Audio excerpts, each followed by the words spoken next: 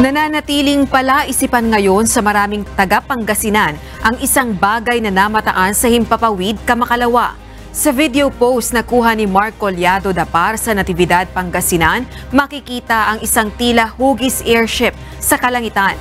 Akala raw nila noong una, nilipad na lobo lamang ito. Ngunit nang i-zoom nito ang kanyang kamera, tumambad ang kulay puti at tila kumikinang na sasakyang panghimpapawid. Ang naturang sakyang panghimpapawid ay namataan sa iba't ibang lugar sa Pangasinan hanggang Baguio City.